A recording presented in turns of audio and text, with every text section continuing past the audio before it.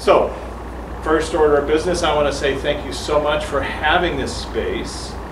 It's really wonderful that you have it. The whole idea of the International Association of Near-Death Studies, as I understand it and have come to grow and love and speak at some of their events, is it's a place of spirituality where you can come and express yourself something that individually happened to you as an experience. Why do that? Partially it's because science isn't really allowed to, let's call it that, allowed to examine the personal experience. Science in general looks at data. So when you do the study of near-death experiences, as Dr. Grayson has done at the University of Virginia, I don't know if you're familiar with Dr. Grayson, many of you are, but his research is based on post interviews. Somebody had an experience and then they catalog what happened. Did you see a light? Did you see a person? Etc. Etc. And that's how data comes into existence. However, in this space, people are allowed to speak about their experiences, something that personally happened to them, whether it's an out-of-body experience, whether it was an LSD experience, ayahuasca, as we've heard. Um, no, I haven't done that. Um, or whether it was a near death event, something where they found themselves somewhere else. And in the history of our science uh, thought, those things have been called what? Paranormal, abnormal, supernormal, outside of normal, just to the left of normal. and uh, I'd like to point out, it's kind of obvious, that if something happens to everybody or it happens consistently, then it's no longer abnormal, it's normal. So, in my case, I'm going to give you just a very brief, um, I know you guys aren't that familiar with my work, but just a brief introduction to my journey. I, I, friend of mine passed away. That's where this began. Died in my arms back in 1996. And then she started showing up in my apartment, either visually or I could hear her saying things to me. Uh, and it was it was a different version of who I knew. It's like a younger version of her, but I knew it was her. And at the time, growing up, as I had, I grew up in Chicago, and I remember saying to my dad, the architect, at one point, you know, do ghosts exist? And he said, no, there's no such thing. And I took that as gospel. Um, I, I realize now that the word ghost is a misnomer. The idea of a ghost, as we perceive that, is somebody who's dead. But if you just think about the logic of that for one second, if somebody's still communicating with you that's no longer on the planet, that means they're still alive. If they can give you new information. Okay? Science kind of looks at this from the idea of cryptomnesia. If you hear something, you see something, you know somebody, or the Jungian unconscious, somehow you're tapping into the memory that somebody else had, and you're imagining, all here in the head, that you're hearing, seeing, sensing your loved one. Well, that's not in the data. What is in the data is that people don't die. They continue to exist. And not only do they continue to exist, but they go back home. That their consciousness from here returns home. And the reason I can say that, with the amount of, it sounds like I know what I'm talking about, but with that kind of, because I've been researching this for over a dozen years. I filmed over 50 people under deep hypnosis talking about the afterlife. Um, and all of them say the same things about the journey, consistently. My first book, Flipside, started with 12 people. Uh, and I presented those cases to the University of Virginia, Bruce Grayson and Dr. Jim Tucker, who was the person in charge of reincarnation there, and Ed and Emily Kelly, PhD, we all sat around one day and we went over this research. And I pointed out, they pointed out that hypnosis isn't considered a valid scientific tool. I pointed out that whether it was a valid tool or not, if people are saying the same things consistently across the planet about what happens in the afterlife, then that's a data set. Then you have to prove why it is that I can take anybody off the street, have them do a hypnosis session, they say the same things about the afterlife. And what makes it even more unusual, and what we're going to talk about today, is they don't say what people say. They don't say the normal the normal thing. They don't talk about religious aspects. They don't talk about the science aspects. They say something fundamentally contrary to what humanity has posited for the past, well, since civilization began. What happens after we die? We've all been told this is what happens after we die, or nothing happens, right? Those are the two options. Something happens, and I know what it is, and nothing happens. And there's no point talking about it. Well, that's not in the data. I'm sorry. So, like I say, I, my friend passed away, and then she started to come visit me. And I thought, okay, this is unusual. I have to figure out what this is. And I started uh, considering if she still exists and come and comes and visit me, then doesn't it make sense that she is somewhere that I can go visit? So I started thinking about that. Like, well, where is she hanging out? A bar in Schenectady? I mean, where do people go? And so I, while I was contemplating that, I had an out of body experience. And now I'd had them in my youth, you know, you know, flying around the room kind of thing, waking up thinking, oh, that was a dream, dismissed. But in this case, I found myself hurtling through deep space. I was in Manhattan at the time. I was thinking about it. As I fell asleep, I suddenly took off and I went into, and all I can describe it is going into deep space. I could see stars going past me, but so fast that the light was melting. And then suddenly I took a sharp turn, only way I can describe it, in somewhere this way that put me through some kind of a wormhole because I went around like that. And when I got on the other side, went through a black hole, let's just call it that. When I got on the other side, I was in another universe. Mm-hmm. How do I know that? Because instead of going this way, I was going that way. So everything was different. And at some point I stopped and there was my friend standing in front of me. And I, she wasn't speaking, but I heard her say, You were looking for me. This is where I am. And at that moment, some knucklehead honked his truck horn outside my window in Manhattan, know, one of those massive semi horns.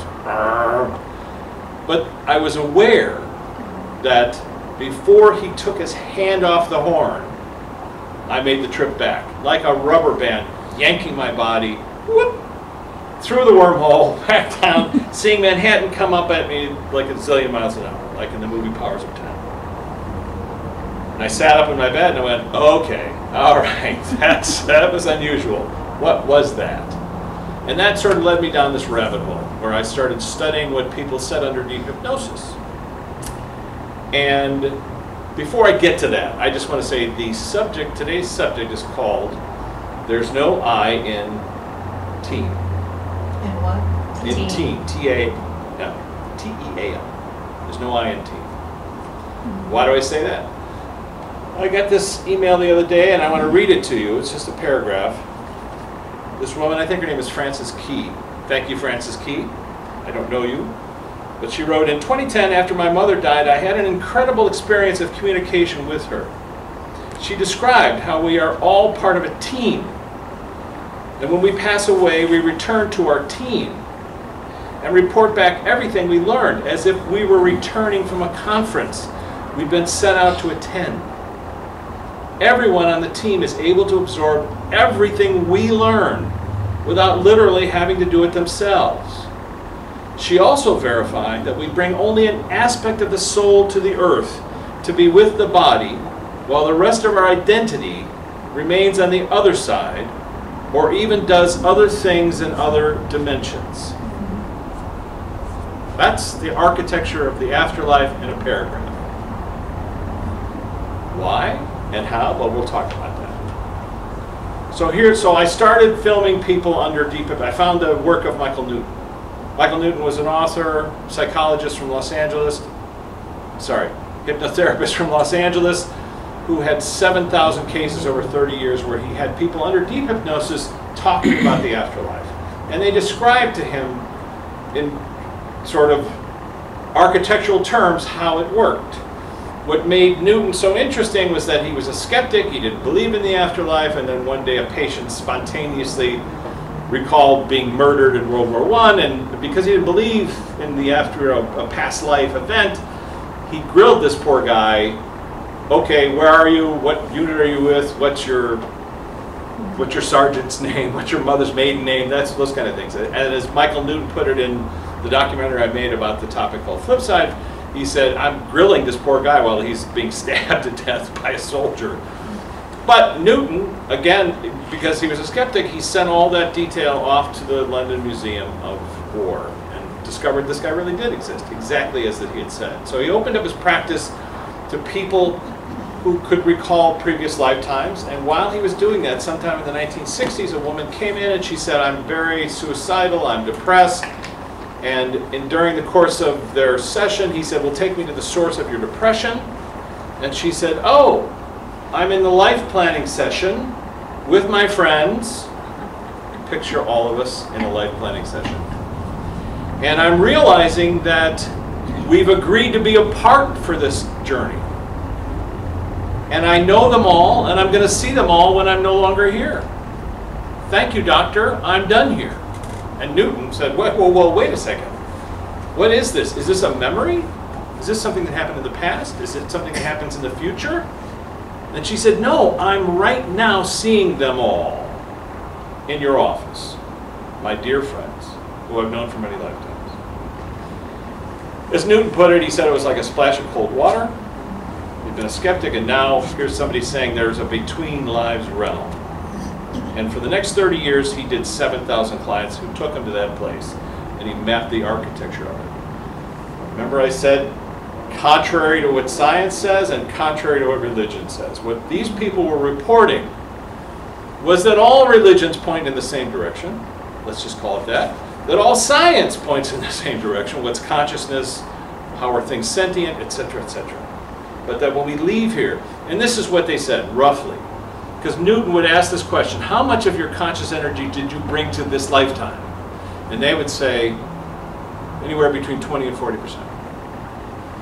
And I noticed that this was consistent in all the cases that I had filmed, eventually 50, over 50. People would say they only bring about a third of their conscious energy to a lifetime. So that raises questions. If all of us are functioning, let's say we're functioning as humans, as, an, as the animal that we are, right? Sorry. We're functioning as that. But one third of our conscious energy, soul, if you want to call it that, you want, conscious energy, animates us. And then we choose who we're going to be, where we're going to do what we're going to do, and then when our body ends, that energy goes home. Home. Home turns out to be the word that everybody calls the afterlife under deep hypnosis. I was startled. The first time I heard it, I was like, home. Did this person mean Schenectady? Or did they mean the life, the home and the life they had just recalled? They had just recalled a life, terrible lifetime, and were they talking about Warsaw? No. They were talking about. And even the word home, when I say it to all of you, which relates to near death experiences, when I say it to everyone, you have an idea of what home is. We all do. What does home mean? we can argue about it. You take two twins, and they go, no, home means this, home means that. Home is has to do with the heart. Home has to do with familiarity. It has to do with unconditional love. This is what people say. It has to do with a feeling of not being judged at all, safety. If you look at near-death experiences consistently, I've interviewed a number of people who've had near-death experiences, and, and either through hypnosis they've gone back to experience it, or I've learned you don't need hypnosis to go back and experience a near-death experience. You can actually go back into it like a packet of time. And what people say consistently, data. is that they feel unconditionally loved during that event. Okay? So here we go again. Everybody's saying the same thing. People under deep hypnosis are saying they feel unconditionally loved. People having a near death event afterwards, when I'm asking them questions about the near death event, they're also describing that feeling of unconditional love. What does that mean? When I first heard it, I thought, well, that's an unusual term. I mean, it's not in the zeitgeist, it's not in commercials, it's not in books, it's not really talked about, even from the pulpit. People don't really talk about unconditional love. It's such an odd term. Do you know what I mean? I mean, we can we can kind of all agree what that is. That means no judgment. Loving someone. Well, look, we, we have it with pets. A lot of people. Some families, not all. Some people experience it in their lifetime, if they're fortunate. But my point is, that's the normal. What's abnormal is non-conditional love or conditional love. I'm sorry, non-unconditional love. Conditional love. If you like me, I will like you. That's conditional love. If you step on my foot, I slap you. Not conditional, not unconditional love. So, it's something that doesn't really exist on our planet. Let's just call it that. We talk about it, but it doesn't really exist here. However, it appears to exist home, back home, the place where we all go. So, when this woman wrote about her mother's, now her mother didn't have a near death experience. Her mother passed away, and her mother was communicating to her from the other side and reporting something new that this person had never heard before.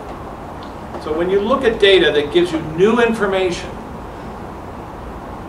something that can't be cryptomnesia you heard or saw or saw in a movie or read about or heard Rich Martini talk about. If it's new information, then it's something to be looked at. And the mother is saying, I came from a team.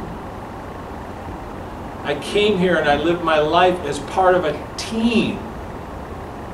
And when I went back home, I rejoined my team. And everybody understood my journey.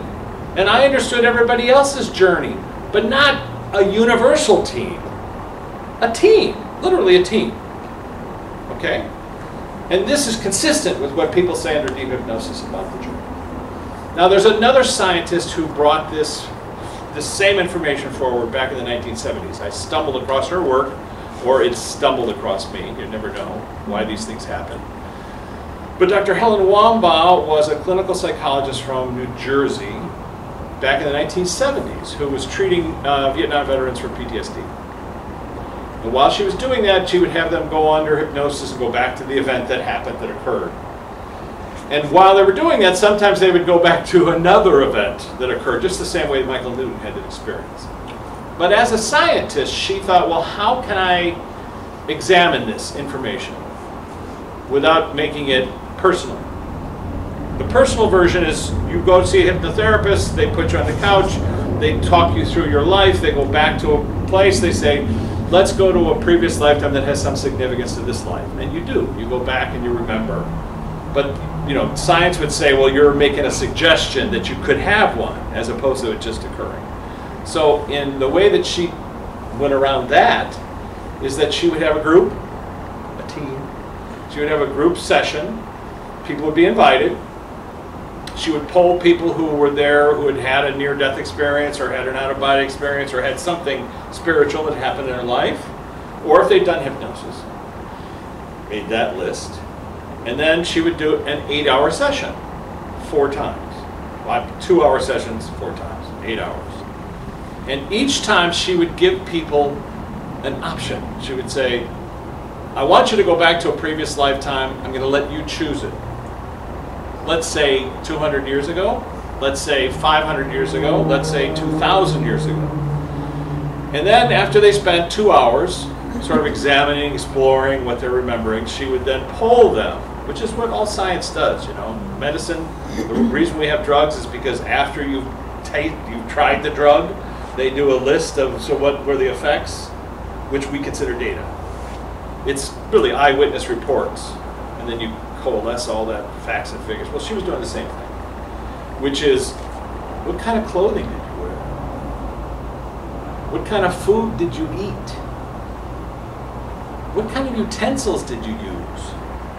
What was the construction material of the home you lived in? They sound like mundane things, but those are verifiable details.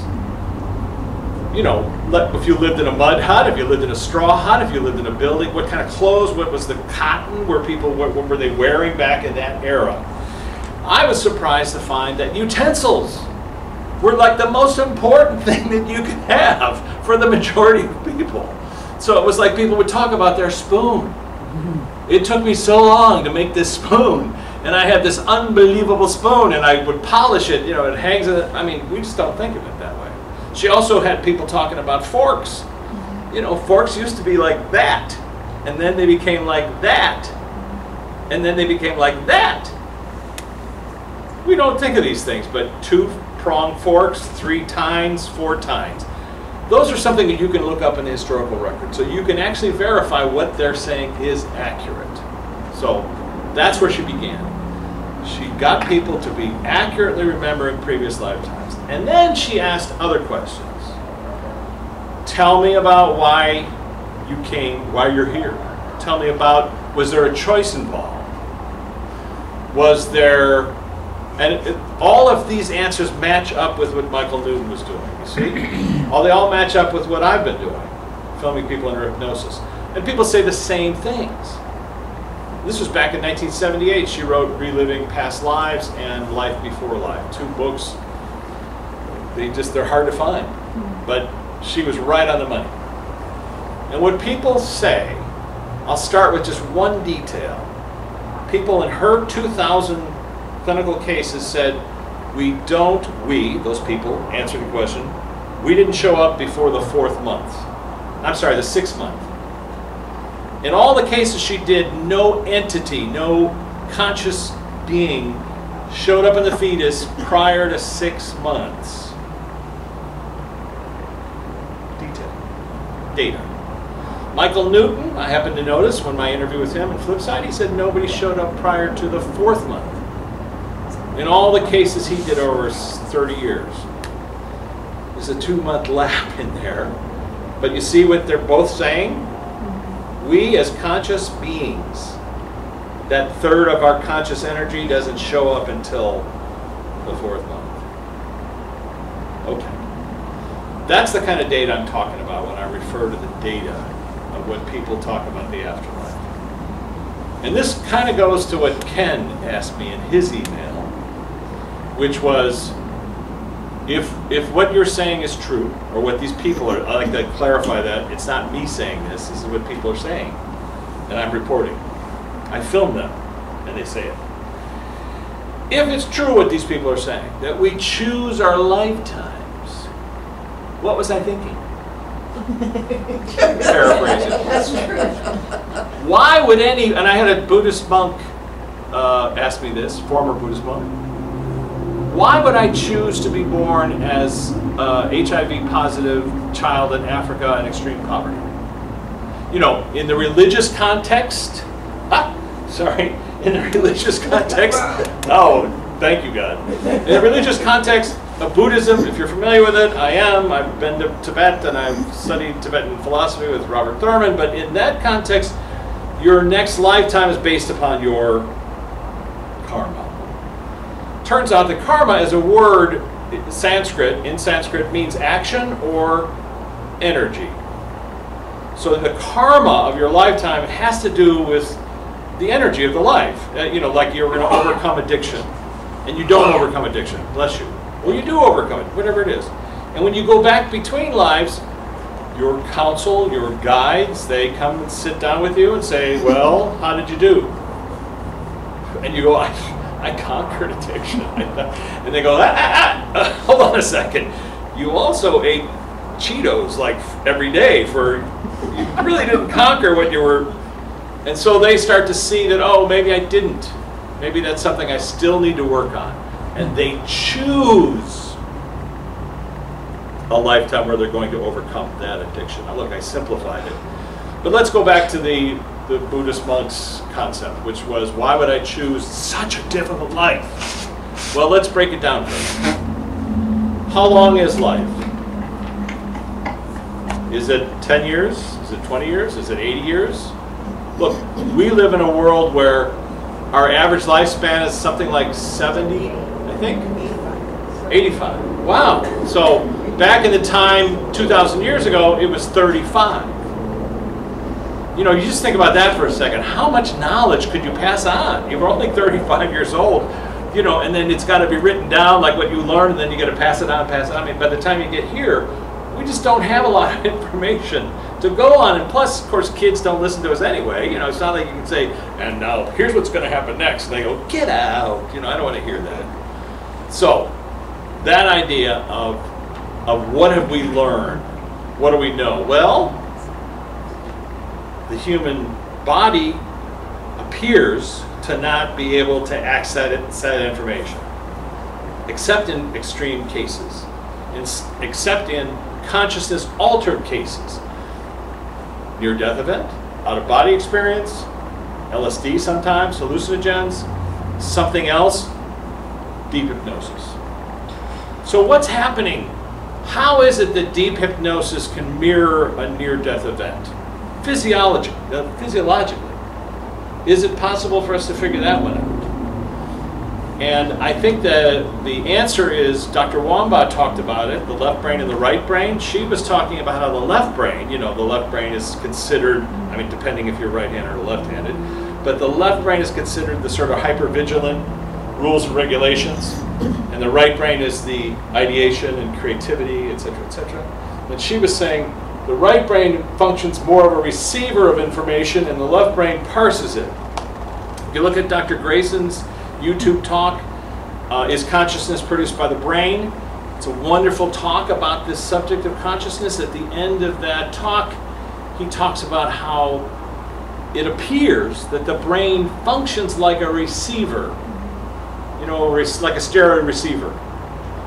So sound waves go through the air, they're all around us, and the receiver picks them up and then it parses them into the right places. It filters them, it limits them so that we get the audio audible range. And that's how we hear music. Same with television, but stereo seems to work for me better. It turns out, as he points out in his talk, that people who have Alzheimer's in the UK, there was a study done, hospice care workers, 70% of them said that just prior to passing, people who had severe dementia suddenly reco recovered their memory. Either a few minutes, sometimes hours, sometimes days, even months prior to passing. Suddenly, everything was back in them. Oh, hey, there's my uncle. Hey, has my sister-in-law been here yet? We may have all experienced something like that with a loved one passing away, where they have this like super recovery. As, as uh, Dr. Grayson pointed out, it's as if the filters in the brain are dying. The stuff that's preventing us from accessing our memory, I point to it up here, because that's what the research shows. We can't access that memory and then the filters die. the people in their post-mortem autopsies, their brains demonstrate they were all atrophied to such a point that they should not have been able to remember anything. And yet they do. 70%. So that's, that's, a, that's a normal what I'm saying is the filters allow us to glimpse the normal. a friend of mine was in the hospital. Uh, she had cancer, and uh, a guy came in and sat down with her, held her hand, and they talked about jazz. And he was this orderly, and she was like, "Oh, he's this beautiful young man," and we just talked about jazz. And when he would come in, she'd go, "Oh, you know, Mr. Jazz is here," and then she would talk to him, and he really helped her. And then her family came to visit her, and she said, "Oh, I'm so glad you guys are here. I want you to meet Jazz." And they looked around the room and went, What are you talking about? She could see him, they could not. That's what the brain is doing, filtering that information out. Of course, she was on drugs, you know, and of course they would tell you, well, she made that up, it's ideated, et cetera, et cetera. But I'm saying, since she's passed away, she's now hanging out with Mr. Jazz. So what I did was I took this research that I have been doing in terms of filming people talking about the afterlife, and then I thought, well, what's the next step in that? If what people are saying, having a near-death experience is true, that when they go home and they visit friends, or they visit family, or they visit their guides or counsels or whatever, if that's true, and then I compare that to what people under deep hypnosis are saying, where they claim, while they're under hypnosis, Michael Newton would have them go back to a lifetime that they recalled, and they'd go to the last day of that lifetime, and at the last day of the life, he'd say, well, now what happens? Where do you go? And they would say, I go home.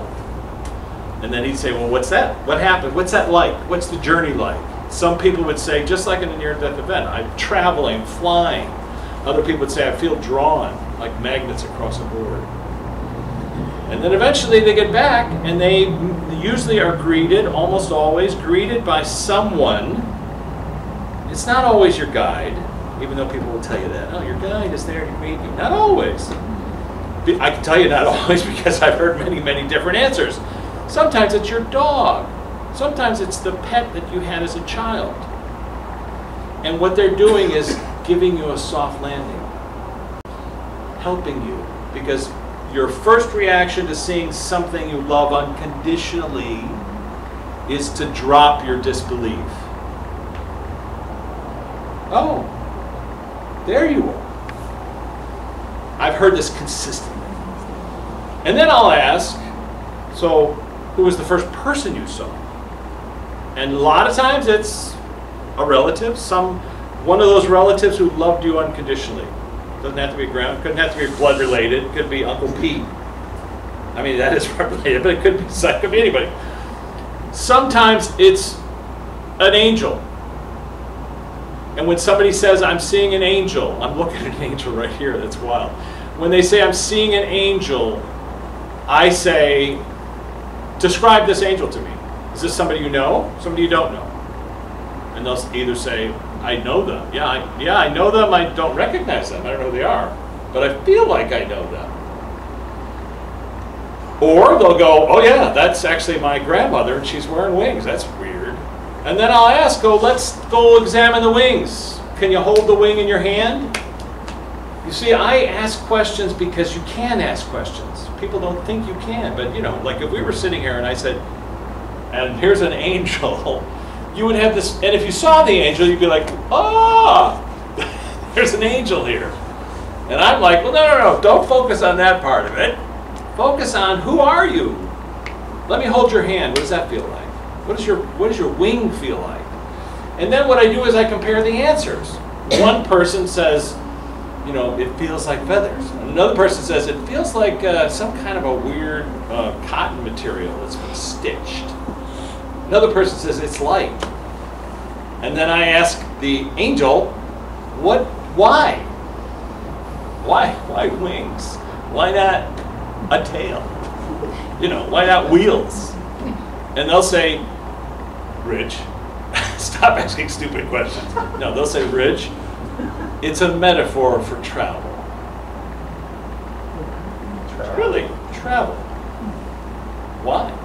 Because we travel at the speed of thought. We can be everywhere with everyone simultaneously. Now, I get answers like that all the time, and I, you know, I, I try not to judge the answer. Let me write that down. I'm filming it. I'll transcribe that later. But it's not just one person, it's the consistency. You know, all I could say is, so how did I get to a point where I can interview people on the flip side? And that's that's where this kind of work that I've been doing sort of took a, an unusual step.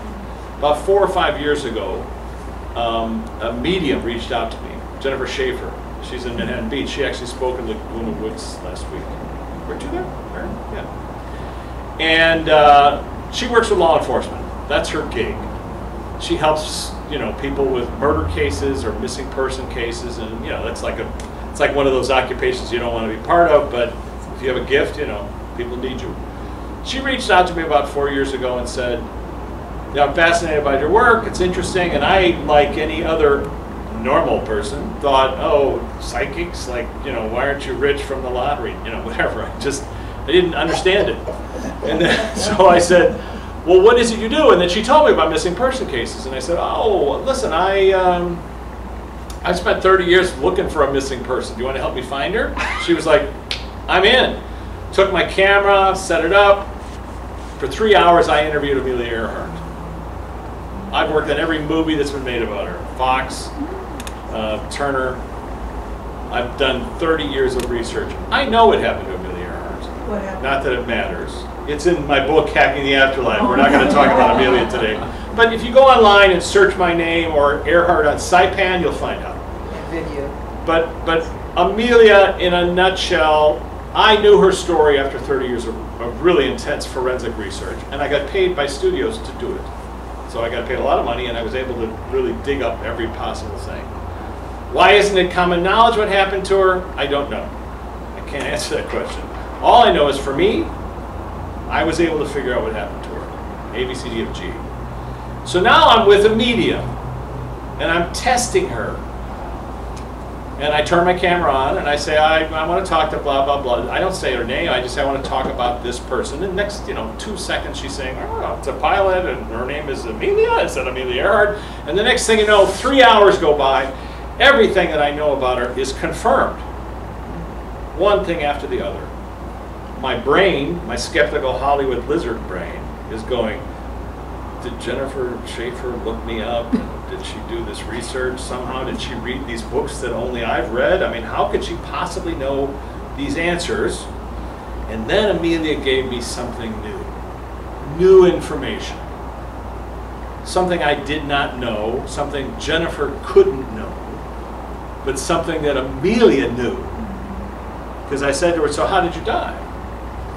And she said, and just so you know, she was arrested by the Japanese, taken to Saipan, and spent the rest of her days in prison there. Her plane was found by U.S. soldiers, 1944. It's all, I've had eyewitness interviews, it's online. But I said, so how did you die? Because I'd heard two different reports. I'd heard one that she was executed for being a spy, beheaded, and the other one that she was shot. And she, Jennifer, said neither.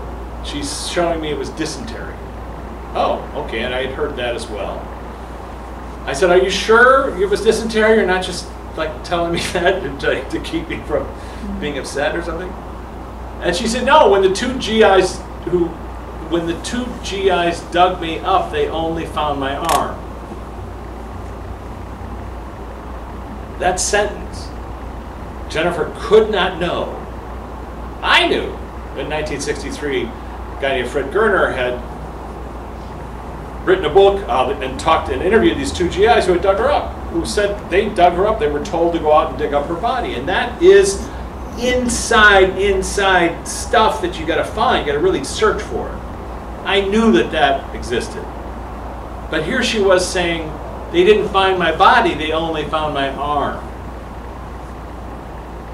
And I wrapped up my camera, started driving away, thinking, is it possible that I was talking to Amelia Earhart? And the phone rang, and it was an NTSB investigator from Seattle calling me up, and he was saying, Rich, you're not going to, 10 minutes later, he said, Rich, you're not going to believe this. I just spent five hours looking through Amelia Earhart's case, point by point by point. Everything you told me is in there. This is a, a, an investigator who used to be a federal agent who had dug through and He spent 30 years working on it. But everything that you told me is in there. He said, except when they dug up her body, they only found her arm. Had to pull the car over. and then six months later, doing the kind of forensic research I can do, I found that indeed these guys said in an interview with UPI, Chicago uh, Tribune, 1977, when we dug her up, we only found a partial rib cage and her arm. The point isn't about Amelia, bless her heart, bless her Earhart. It's about new information from the flip side. And when I heard that and when I confirmed that, I realized ah, a medium is a cell phone. You can access people on the other side using a medium that you trust or know or can verify their work. How cool is that? And so Jennifer and I, for the past four years, every Thursday for two hours, I film my cell phone talking to the other side. Got a couple of books of those kinds of backstage pass to the flip side. Um, and I'll tell you, the reason it's called Backstage Pass to the Flip Side is a funny, uh, funny title, is that when I met Jennifer, and, and uh, well, I'll go back a little bit. I think about the third or fourth time we met, uh, you know, and I'm still thinking, is it, this is insane or crazy or whatever. This is abnormal. And I was in a restaurant with her, and she said, Michael Newton is here. No, she said, Morton is here. Sorry, killed my own joke. She said, Morton is here. And I said, excuse me? She said, the guy, you know, the guy you made a movie about. I don't know anybody named Morton who's dead. She went, the, the guy, the flip side. I went, oh, Michael Newton. He's here? Now, if Jennifer was trying to convince me of something, you know, you'd think she'd get the guy's name right. I said, what does he want to say? She said, uh, he wants to tell you that he's working with people on how to communicate with the afterlife. I said, all right, let me clarify this. Michael was very much about clarification. You're saying that Michael is telling us that he's helping people over here to talk to people over there. Is that correct? And she said, he says, no, the opposite. He's helping people over there to make cute communicated people over here. Didn't know it was hard, did you? But in that moment, I realized what he was saying. It's hard. Somebody passes away, they're over there, they come to their loved one, they try to talk to them, they can't hear them, they don't believe it, it's a ghost, the lights go on and off, oh, I'm scared, you know, oh, I felt my, uh, my Uncle Pete was here, and they dismiss it, like we do. It's hard for them to communicate. What he's saying is he's helping them and so I was about to go on coast to coast that weekend, and I said, well, give me a one, two, three. What's something I can tell people to help them communicate? He said, uh, say their name. What? I said, do you say it aloud or in your head? He said, doesn't matter. He, he said, doesn't matter, Richard. I thought that was interesting. Then number two, he said, ask your questions. And I said, well, how do people know the difference between asking a question that's real, right, that they, like the answer they want to hear, and, and hmm. making a connection? He said, when they answer the question before you can form the question, you'll know. Got that? When you hear the answer before you can ask the question, that means you've made a connection with your loved one. Now, I can tell you, I, I speak a lot on Quora. Um, yesterday I got a message from them that I've had six million views of my answers because you know people send me a question and I write about blah blah blah, you know whatever. I get a lot of people in India sending me questions, but anyway, um, I lost that thought, Mary. So what was I saying? When you hear the answer before you form the question. Oh, thank you. Yes. Other Mary, Mary too. So I, I got an email from a guy I've never met before. He's a scientist. He lives in England, and he says, you know, Rich, I got to tell you, you were saying this stuff about the flip side, and it, you know, it's not in my scientific mind. However, I tried your method. He said, my mom passed away, and I imagined sitting with her for 10 minutes. I just pictured her in front of me as if I was holding her hands. And, you know, I was like debating, like I'm not hearing anything, but I, all right, I'll, I'll try, I'll ask a question. Mom, who was there to greet you when you crossed over? And he heard Hugh Nessel. and he went, like, what? You know, is that who greets people on the other side? Is that Dr. Death? But he wrote it down, Hugh Nessel. And then he was thinking about it, like, who's Hugh Nessel? So he writes his sister, who he's called the keeper of all family things, and she wrote back and said, "That's your that's your great grandfather, you nut. That was her grandfather, Hugh Nessel. Something he didn't know. New information. So that's proof of concept. I've had many people write to me and say, I, I, I, "You're not going to believe it," but you know, I was in my mind's eye holding my. I started asking questions and they answered before I could even ask the question. How is that possible? Because once we're not here in the physical realm that we're in, we're outside of time. Time exists. On the flip side, I know you'll hear a lot of people say time doesn't exist, everything's happening simultaneously. You've heard that? That's not in my research. I report it if it was, but what they say is each lifetime is linear. Otherwise, you wouldn't learn anything. One guy put it this way think of a string. And on that string are all your lifetimes, left to right. Life, life, life, life, life, life. That's linear. Oh, I learned how to, you know, this one oh, I learned that. Oh, this one I learned this, this one I learned that. But when you turn the string, so you can look down the barrel of the string, they all seem simultaneous. You can see how that one lifetime that you had back in the Renaissance, where you died of dysentery, has led directly to become a doctor in this lifetime, where you cured the illness, because you understand it. I've heard people say, on the flip side, I chose, I chose that lifetime so I could suffer so I could learn what that suffering is, so I could teach others not to suffer. Going back to that Tibetan Buddhist question why would I choose a lifetime? Born in Africa, HIV positive, in abject poverty. The way I put it is this I come to you and I say, okay, I got something. I need your help. I need you to come with me. Here's the thing you know that six years on Earth feels like six minutes here. I had one person who did a session. She did a 25. She had a 25 year lifetime here. When she got back home, she said it felt like I was gone for 10 minutes. I've heard this consistently. 10 minutes, 25 years, 10 minutes. 2,500 years, 1,000 minutes. So if you run into somebody who lived 2,500 years ago, not so weird to run into somebody who you knew a month ago. But again, back to the six minute thing. Six, I'm going to ask you to come to life for six years. You're going to be born sick. You're going to live with a lot of flies. Pretty much it's going to be all flies all the time.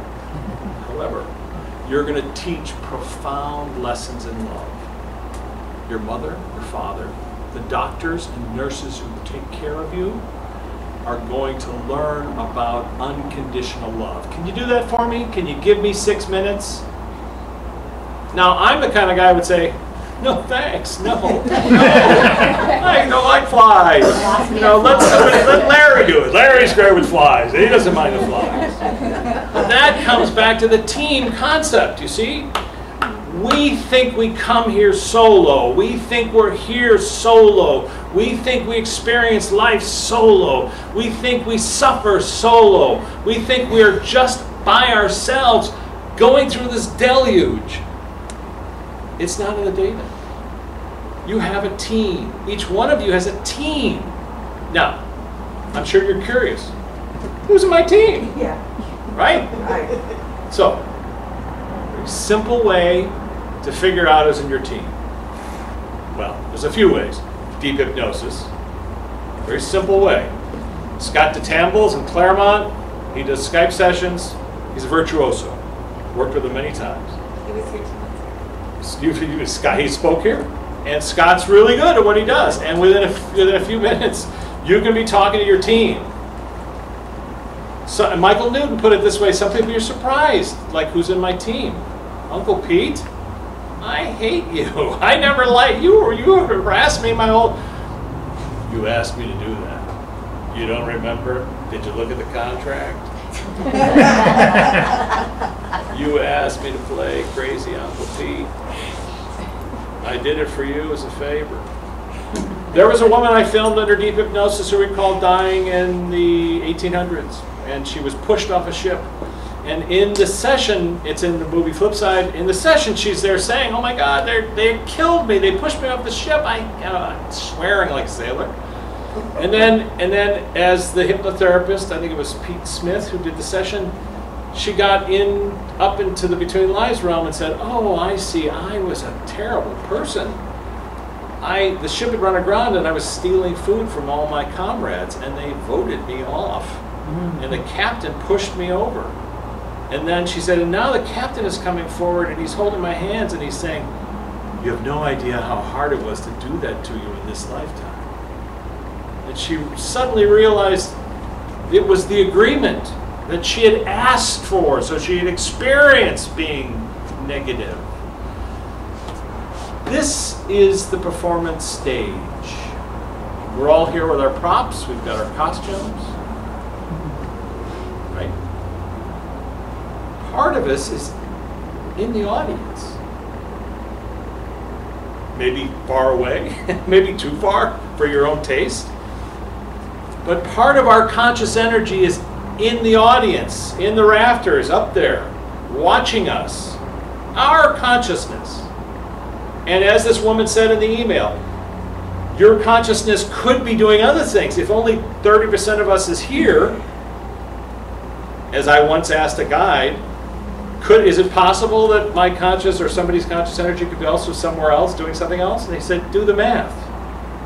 Okay. So part of us is here, part of us is home, watching us here.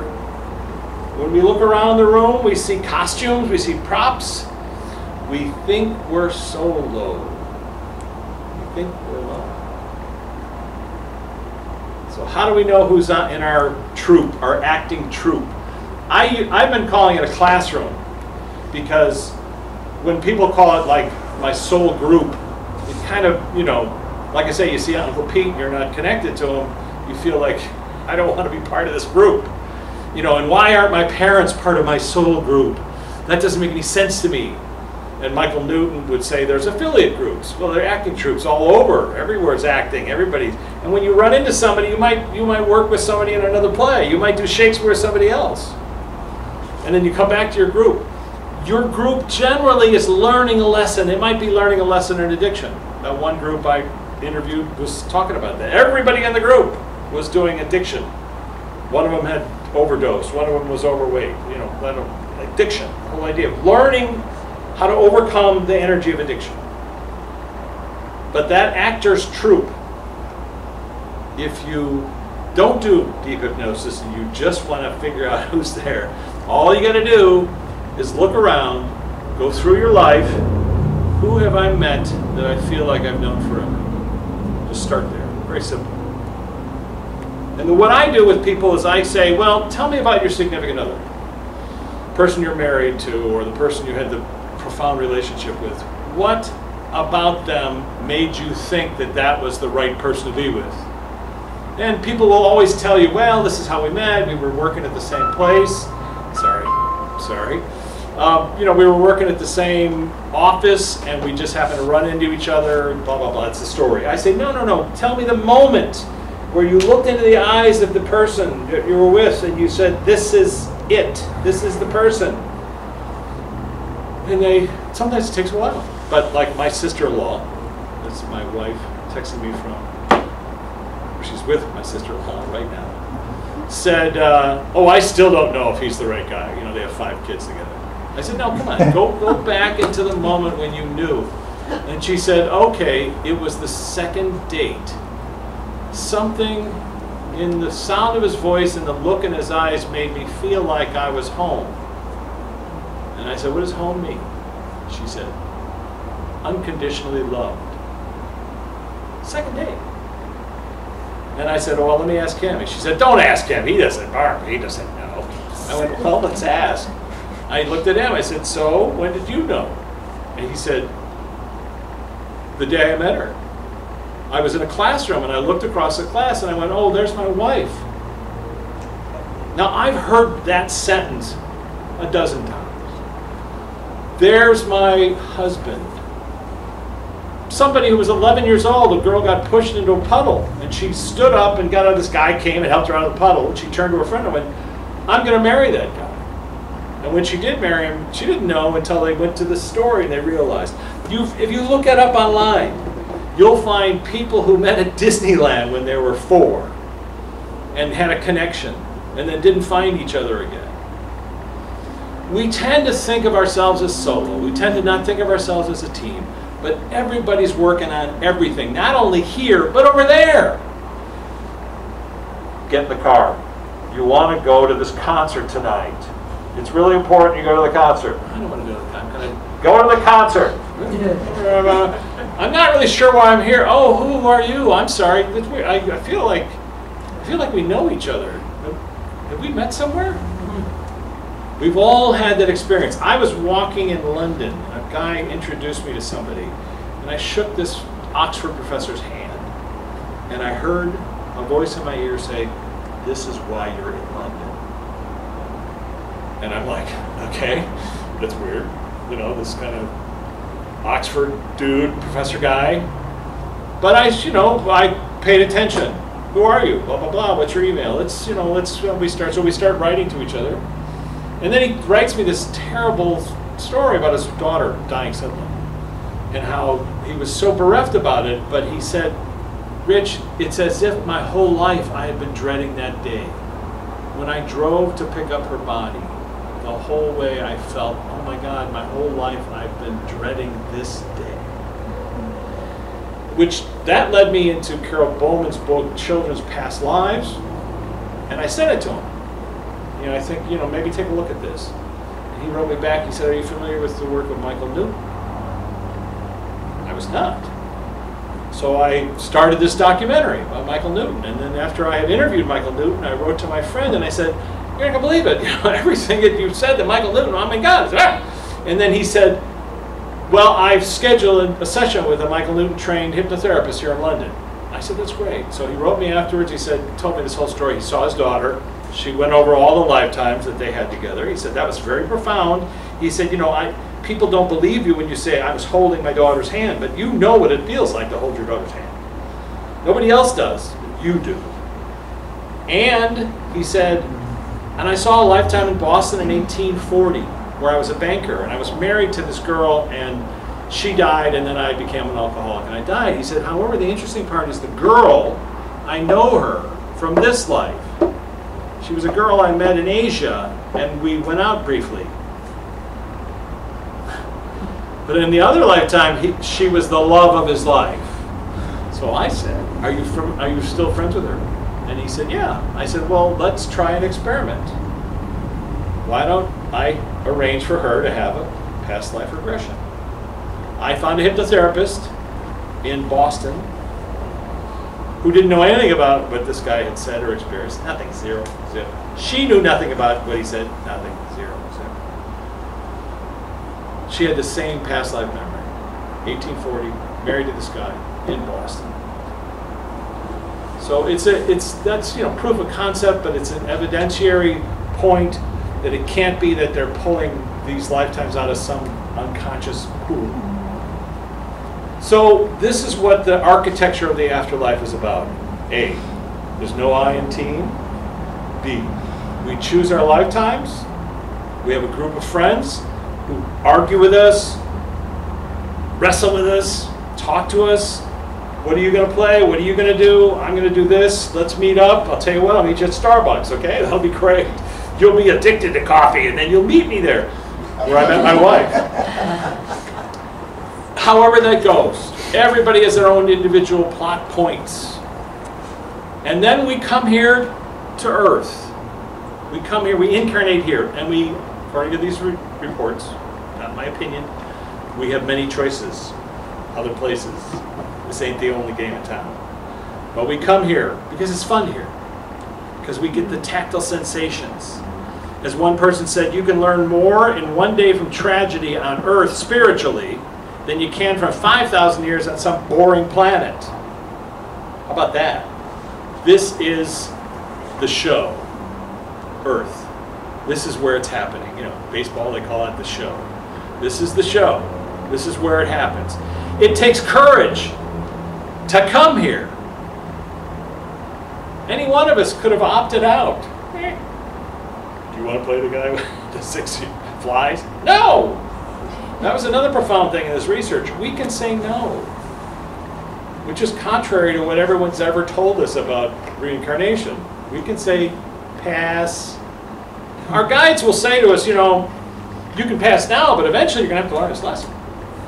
And you can say, okay, eventually I will. You guys go and have fun. I will watch you from the cheap seats and I will encourage you. I'll do anything I can to help you. I just need a break. I really just want to chill and let this one pass. Okay, Rich. So, that's what I've been doing is talking to people on the flip side. So, somewhere along the line, how what time we got? How are we doing? What? Oh, there I am. I have another five minutes? Okay, so what I, I'm sorry, so, so like I said, I meet with Jennifer every week and I started realizing that the people on the flip side, it's like a cell phone. And, and, but you gotta get them, you gotta give them help to contact you. And so they can't talk because you have to make sound move. Generally. Some people hear, most people don't. But they can make images. And how do they create an image? They tap that weird engram on your brain that has the URL to wherever that offsite memory is of certain things. So when I'm interviewing Jennifer, she'll say, Elvis is here. And I'll laugh and go, why? And then she'll say, oh, oh, no, there's somebody that he was in a movie with that wants to talk to you. And I'll know what he's talking about. I did this with my friend Bill Paxton, the actor. Billy passed away a couple years ago, and I just happened to be interviewing a medium that day, and I thought, well, let's just see if I can talk to him. So I asked him my usual 20 questions. Who was there to greet you when you crossed over? What happened? Tell us about your journey, blah, blah, blah. And then I did it with two other mediums. One medium, I didn't, wasn't there when I, I just supplied the questions. Somebody else did the questions. And all three sessions, and since then, my friend Bill, not the movie star Bill, but my friend Bill, came through, talked about how we met in a pub in London, what we're, you know, our journey together. Why his career took off and mine did not. Whatever. So I can be here today. Um, but talking to Bill Paxton is on Gaia right now. So if you want to sign up for Gaia, I think you can, whatever, you can sign up for free for a month or something like that. It's, uh, it's me interviewing a medium, two, three different mediums, and talking to somebody who I knew who was on the planet, using mediumship as a cell phone. Okay. Why is that important? Janet, you know the answer to this. Why is that important? Because if it's true what these people are saying, that we choose our lifetimes, then doesn't it make sense to leave behind fresh water, fresh air, fresh earth?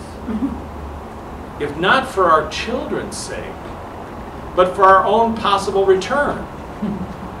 Wouldn't that make sense? I mean, if you're going to come back here, wouldn't it be great to be able to take up a glass of water and drink it and not think, ah, what was that? What is that? Hurt. Or food or whatever. So that's why I do this work. That's why I, I allow myself to be under ridicule from all my Hollywood friends. What are you doing? Are you still talking about that stuff? Um, but I also must say, it, Luana, my friend Luana, is key to this, this journey. She continues to be our conduit. So I was going to tell you about the Backstage Pass. The reason the book is called Backstage Pass, the flip side, is because one day Jennifer and I were in our usual place where we do these sessions, and she said, Tom Petty is here. And I said, why? And he had just passed away the week before. And she said, well, um, he said he's been waiting all week to talk to us. And I said, well, I don't, I don't know Tom. I didn't know Tom. So, well, Tom knew Paxton. So he's here because of that. So, you know, blah, blah, blah. And Luana knows him. I'm like, okay. So, and then, so what do you want to say, Tom? He said, you know, getting to talk to you is like, is like going backstage.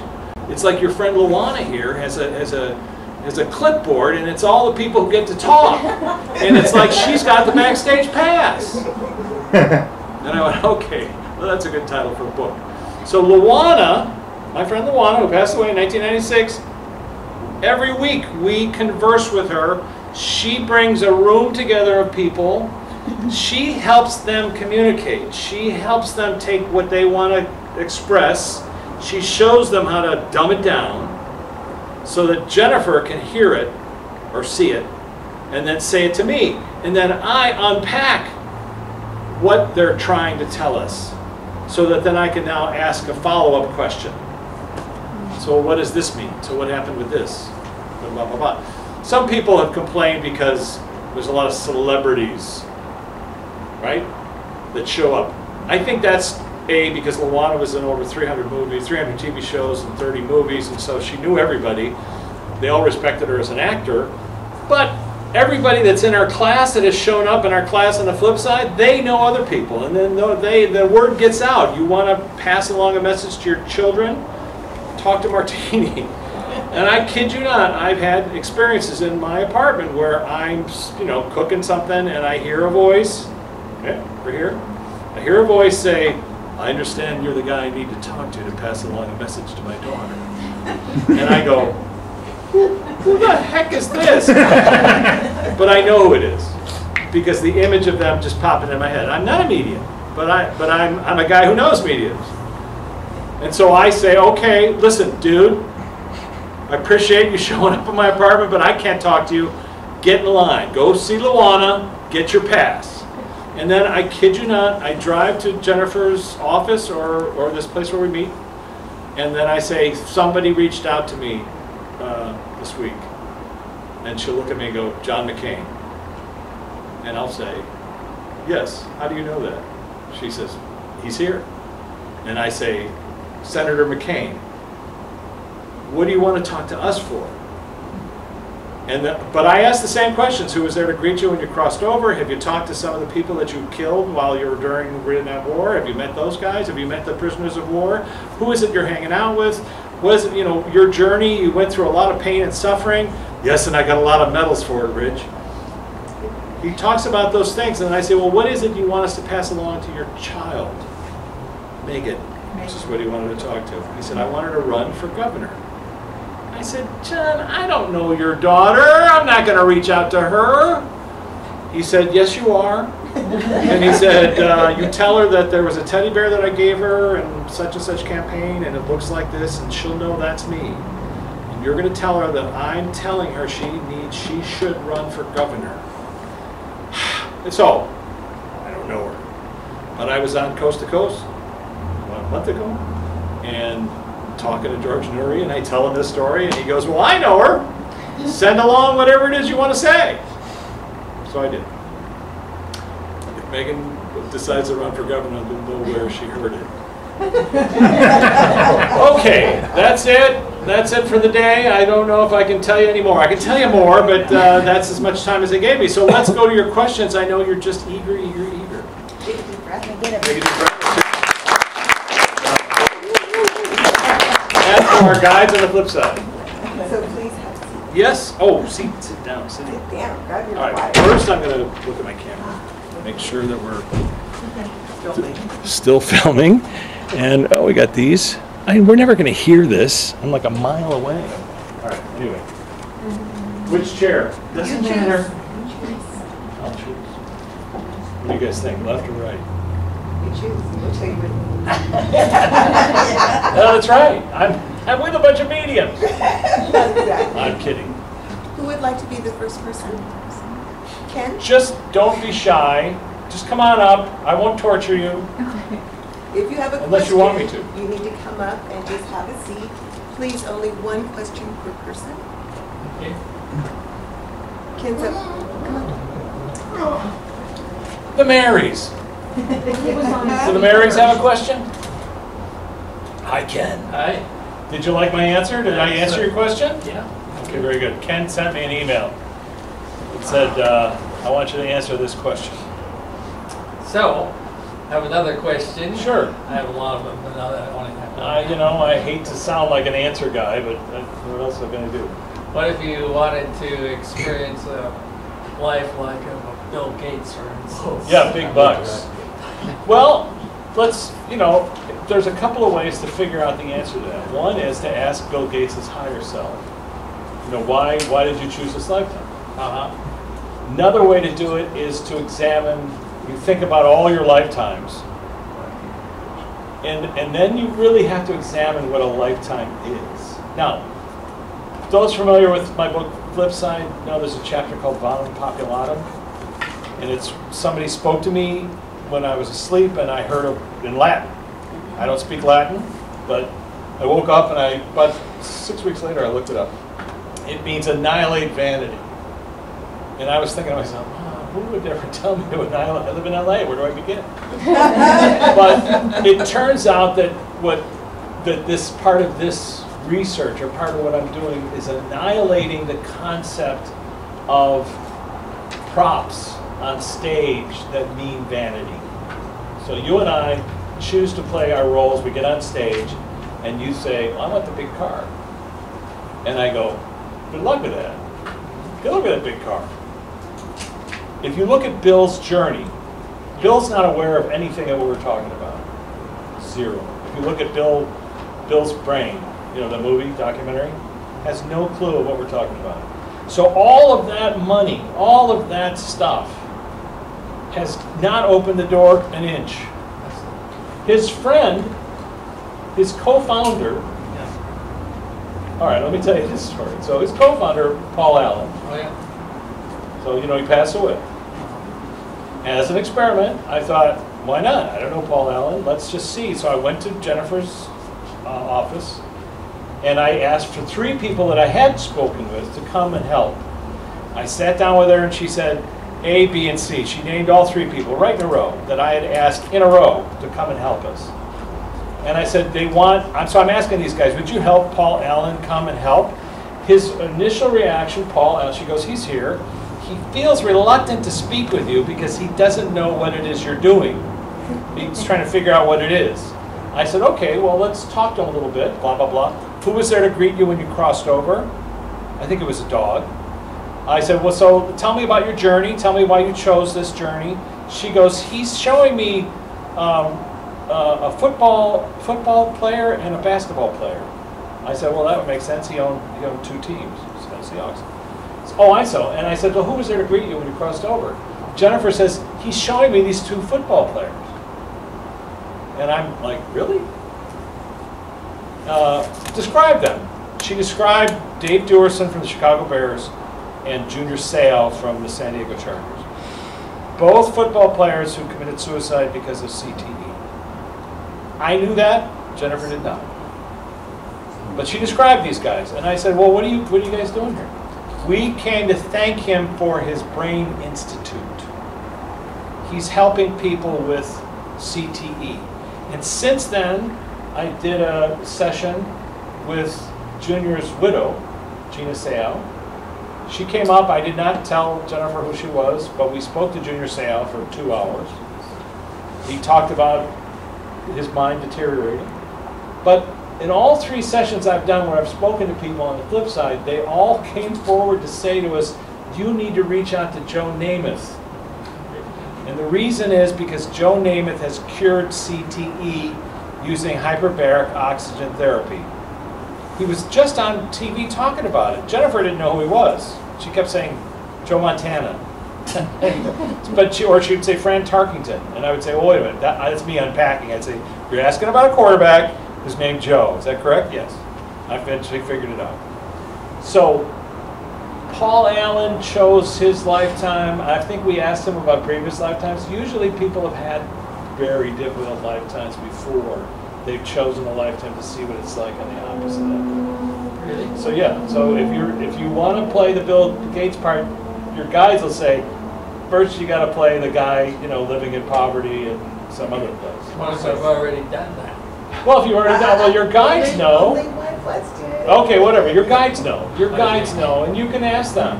You know, but here's my other point, which is really the the vanity part. You know, bless Bill Gates' heart, but he gets up every day, and you know he's got to get on the cell phone to talk to somebody on the other side of his house.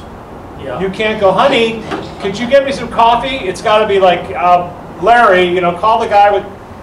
Money doesn't make your life. I know people don't believe this, but money doesn't make your life better. It makes it makes stuff different, but not better. Well, if you live in. If uh, you live with people who love you unconditionally, Yeah. that's the meaning of life. That's why you're here. If you're somebody who's surrounded by people who love you unconditionally, Mother Teresa fill in the blank. Those are the people who scored. Right. They, they get the applause when they go home. Wow. There was one guy, oh, one last thing, there was one guy in Michael Newton's work, a guy in between lives, he's talking to his counsel, and they say, how do you think you did? He said, I did great, I donated all this money to charity, and they said, no, no, who did you help? He said, no, no, I gave away all my money. And they said, uh, no, we're asking who you helped. And he said, I, I can't think of a single person. And they said, no, you did. And they showed him once during the Depression, he was on a bus and a woman was sobbing. And he put his arm around her and said, it's going to be okay. That was the key moment in his lifetime. So keep that. Yeah, Thank you. Thanks, Ken. Great answer. Yeah, that's why they pay me the big bucks. Mary! I got one Mary. Come on, Mary. How are you? I'm How good. you, Mary? I just want to um, ask you to say again something you told us last week. Yes. You were, Jennifer was there and we were, we were talking about Jennifer's father, Jim. Jim, And you had asked Jim about grief. about grief. Very good. And I will repeat the story very quickly. My friend Jennifer, her father had passed away. And it, she really didn't tell me about it, but she was struggling because she couldn't work because of her grief. And you know, you know the stages of grief and all that stuff about grief, grief, grief. grief. Okay, I, I've had, I haven't had that kind of experience in my life, but I know a lot of people have. So while one day she said, I, "My father's here," and then burst into tears. And I took the opportunity to try to focus her to her father to say, "Can I ask your father some personal questions?" And she couldn't say anything but yes. And I said, "So Jim, how do we help people with grief?" She said, "He says move grief to nostalgia." And I said, "What does that mean?" She said, "I have no idea." Tears, tears. And I said, "Well, let's ask him. He's here."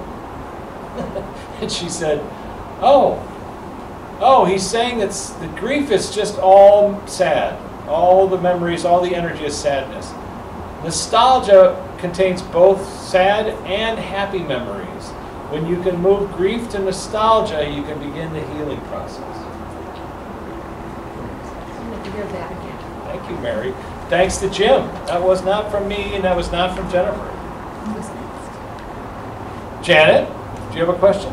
Oh, sorry. Come on. Oksana. What's your question? Have one. Lou. Hello. Nice Rich. to meet you. Uh, About four years ago, my daughter and wife adopted twins. Uh, Went to Tennessee and brought them home. We'd been trying for several years to, to start a family.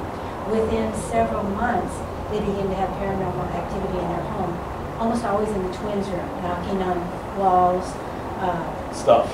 stuff, furniture literally Yeah. moved, yeah. Yeah. And so uh, they had a, went through several people that finally found someone that specialized in cleansing. Yeah, yeah. You know, and, and, and he's gone now. He seemed to be a male presence.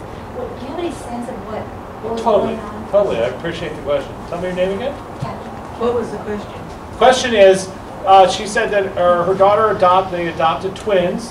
Interesting thing about twins, and that they, when the twins arrived, there was like paranormal activity. You know, weird stuff moving, and, and I guess probably Knocking negative, wall. knocking on walls, and a feeling of negativity. Uh, yeah, the, the twins actually, it lasted so long that they began, when they were, uh, began to talk, they would scream in the middle of the night, get out of here, get out of here. Okay, very good. All right, so very good. So, you know, that's a, a number of things. First thing I want to say is twins have this unusual quantum entanglement uh, experience in life. You know, you've heard that term quantum entanglement. That's when two two things are created at the same time, and, and no matter where the other one is, it reacts. When this one is tickled, that one reacts. Twins have that experience. So one breaks a leg, the other one feels it simultaneously, not like like faster than light. So it's an unusual thing. I've talked to twins about this. So that's a kind of a gift. Um, and when somebody shows up, and now listen, I you know I know that there's a lot of shows on TV and they talk about paranormal activity and they frighten you, but in my experience, like I was saying at the beginning, ghosts are people who used to be here. So if you start with the premise, the ghost was here first, whoever the ghost is. So you have to start there. So we're intruding on the ghost persona or, or their reality. So, you know, is was the ghost in with the twins? Maybe. Was the ghost with the house? Likely. Why would suddenly that start activity start happening? Because Mr. Ghosty, person who's, who's still here, is somehow reacting to their, their presence. Whatever, whatever it is. Angry, upset. But I, I'll, so I'll give you an example. Because I've done this so much, I'm familiar with the architecture. I was at uh, Beyond Belief, which is George Noory's television show on Gaia. And I was, this was last, uh, my last appearance. I was in the makeup room. Makeup artist was doing my makeup, and producer ran in and said, "Oh, tell him about the ghost." And I said, "What?" She said, "Well, we saw a ghost." She said, "There's somebody's been breaking all the lamps in our locked lamp room. So, like, we go in there and the lamps are all broken, and people have heard it. But I saw him." And I said, "Okay, um, do you want to explore that?" And she said, "Sure." And so I said, well, try to picture that ghost. What did he look like? Was he young or old? Just in that flash. She said, oh, he seemed about 20 years old, and this is how he's dressed, and etc. cetera, et cetera. And I said, all right, well, just take a freeze frame of that person. Let's ask him some questions. Try to get closer to him. Let's, let's see if he answers. So I asked him, who are you? He had a name, Bob. He, he claimed, through her, that he had died in a fire that he lived in a town nearby, gave us all these details. And I said, So what are you doing smashing lights, dude? What's your problem? And he said, I hate the people who come on this show and talk about the afterlife. They're all liars. So the makeup artist telling me this. So I thought that's hilarious because I'm about to go on the show. and I said, okay, all right, all right, I, I hear that. Um, but let me ask you, Bob, look around you. Can you see a light somewhere? She said, he says, yes. I said, well, can you go over to that light? She said, he doesn't want to. He's angry and he's furious and he wants to stay here. And I said, oh, dude, you can stay here. Just go over near the light. So I got him to go over near the light. I had him put his arm through the light. I had him describe what that felt like. It's different.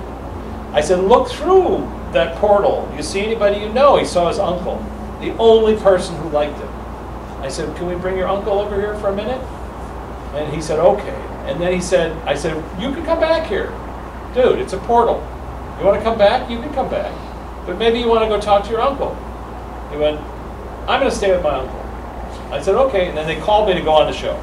So I went off and I did the show. We didn't talk about that at all. But after the show, I came back. Makeup artist said he came back. And I said, oh, I guess it didn't work. And she said, no, no, he came back to thank us for helping him. Everybody is going to eventually get to the other side. They, if it's somebody's rabble rousing here, it just means they haven't gotten there yet. Do we have to force them to go? Not really. Can we invite them to find? Here's what I said to the guy Everyone you've ever loved or whoever loved you is on the other side of that light. Who wouldn't want to go see that? So, just in terms of of trying to parse like how that happened, the twins aren't responsible for it. The person who's no longer on the planet is responsible for it. Something I, interviewed once. I interviewed somebody. I said, "Why are you scaring this girl?" Because somebody had a memory when they were like nine years old of somebody really frightening, and he said, "I don't scare people normally. I just come here to hang out. It's just it's different here. I like it here, but it's not my fault she sees me." Which is a pretty strong argument. you know? So, so it's not their fault that this person showed up. It could be related to the house. It's likely related to the house. It could be related to them, whoever their parents were, you know, whatever. Moving furniture isn't necessarily a negative thing. It could be, I know this sounds weird, but like, oh, my kid's going to fall over that if I don't get that chair out of the way. I better move that. And then you hear, oh my God, the chair's moving. As opposed to, Um, hello, Ghosty. I appreciate your presence here. Thank you very much. But I like the chair over there. And if we're gonna like, you know, have this relationship, you're welcome here. But you know, if you go beyond the light, everyone who ever loved you is on the other side. So go, come back, hang out. It's fine. But stop scaring the hell out. of me. That's it. Thank you. so You're welcome. Thank you so much. I am the answer guy, aren't I? Should have a talk show. Come on up. Mediumship. Okay, the question is going to be. Hi, how are you? Okay, thank you. Thank you. And you? Um, My mother died many years ago. She had a real hard life. I'm sorry.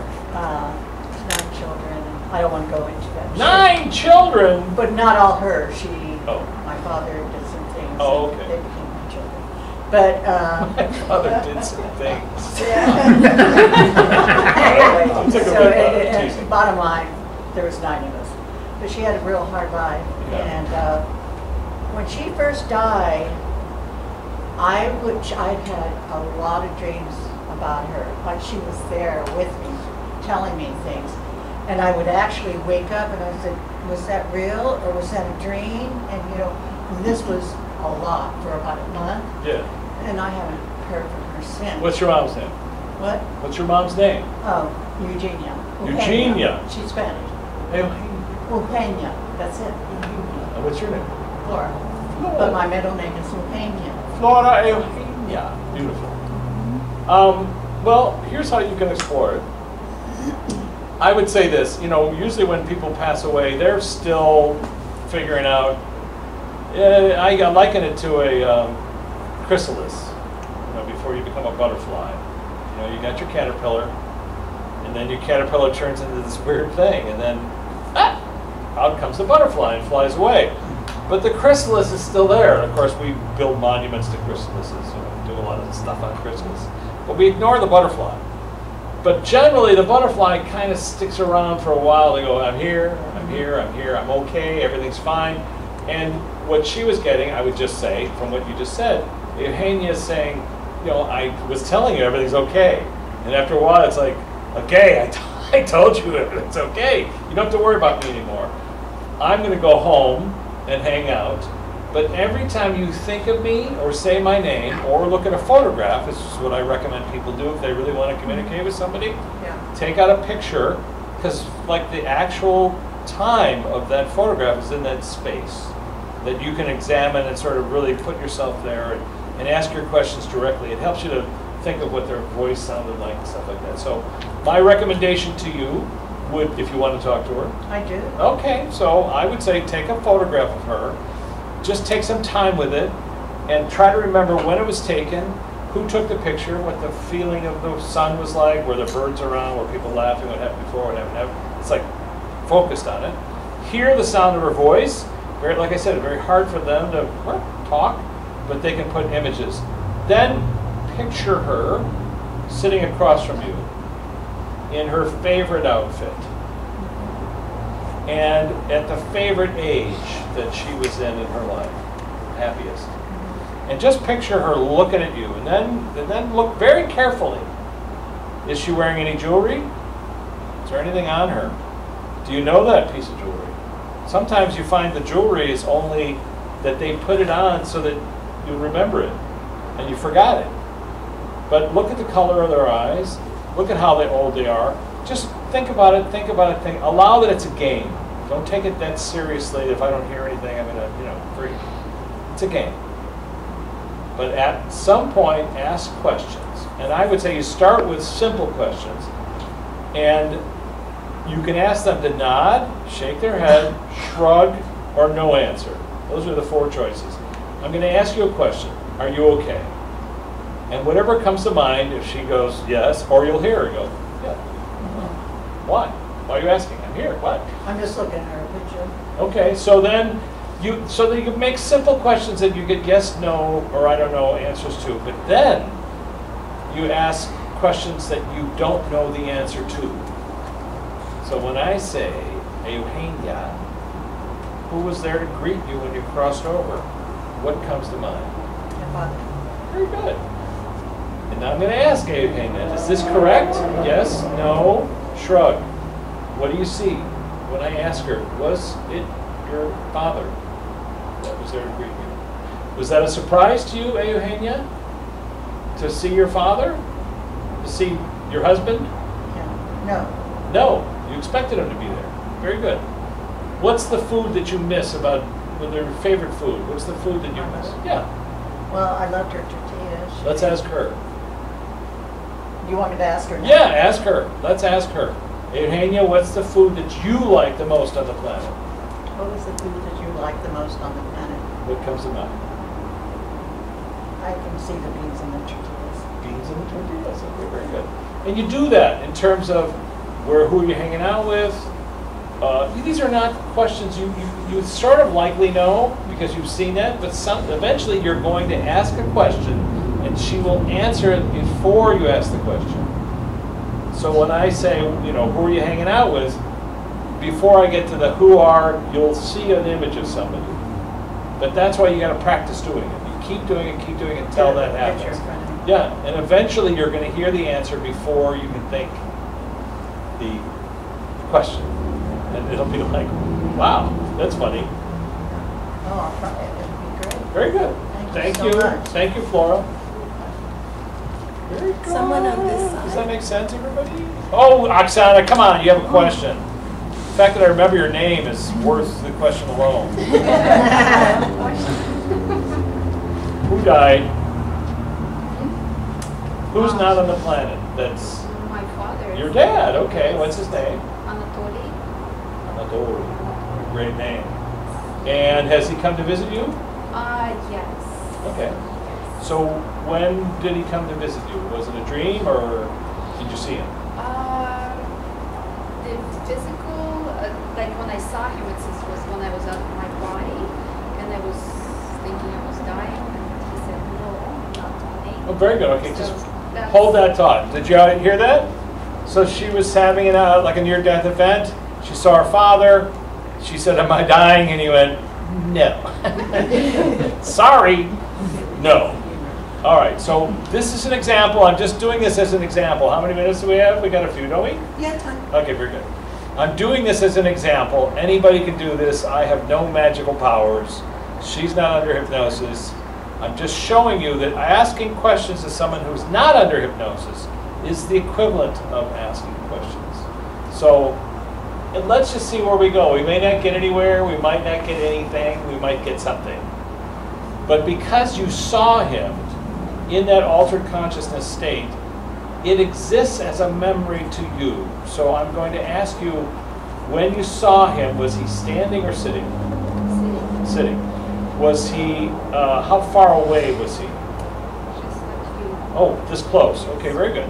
I want you to do me a favor, in your mind's eye, make it into a hologram, like a photograph, freezing, frozen, freezing, like a frozen photograph. And, and that way we can move around it. Okay? Okay. And so now tell me, what, what, what's he wearing? Okay. But he can. So does he have pant, does he have no clothes on or some clothes? Some clothes. Okay, some clothes. Does he have a shirt on or no shirt? He has a suit. He has a suit. Is it black, brown, gray, colored? Dark brown. Dark brown. And, and uh, he has a suit on, very good. Is there, is there a three-piece? Is it a vest? No. Take a look at his arms. Is there any, any jewelry, a wedding ring? Just a watch. Just a watch, thank you. Okay, right hand, left hand. Uh, Left hand. Take a look at the watch. Take a look at it very carefully. What, uh, what kind of band is it? Is it leather. leather band? Okay. And can you see the name on the type on the face? Of the watch. Yeah. Luch. Luch. L O O C H. Russian, L-Y-Ch, but Luch. yeah, Luch. Okay, in Russian. Very good. L Y C H. Yeah. That word. That's that word letter. Yeah, Okay, very good. And is this a watch that you remember him wearing? that's my watch. You get that? She has never seen this watch. I just asked her what her father was wearing. She described the watch. She has never seen it before.